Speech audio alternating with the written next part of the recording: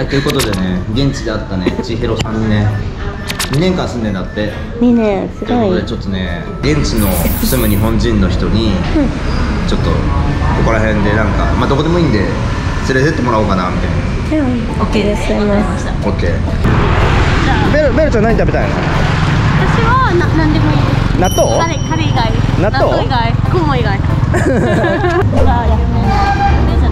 あの私がちょっとピザを食べイエ食べます。ーイピッツァ超好きじゃん。ピザ超好き。Do you have a spider pizza? えなんで？Spider pizza? ないよあピッツァあないね。ないね。よかったね。よかったね。あでもバクカフェっていうのあ yeah 見てこれビール50円乾杯。乾杯。ちょっと飲むおお行くね。冷たくて美味しいめちゃくちゃ美味しい。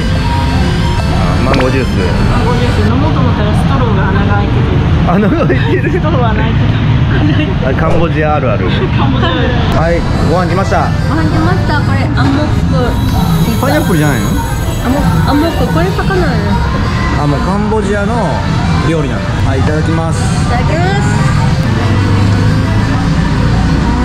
おどうぞ。あ熱い。え？熱い。あいらない？熱いあいらないいらない？あいる？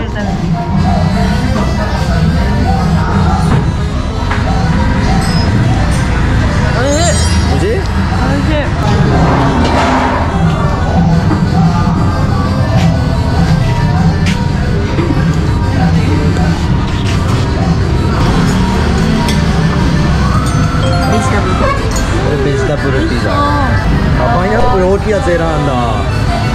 パイナップルの木のやつと、まあ、ちょっとソース。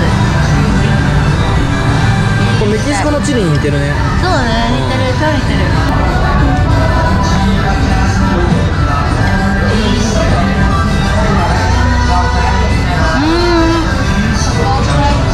うん。めっちゃ美味しい。こっちの方が美味しい。これが美味しい、まあ、付き合った時に相手に求めると何ですか？求め特にそんなにこだわりはないんですけど、うん。とりあえず面白い人優しい人ででも約束をちゃんと守らない人はダメです。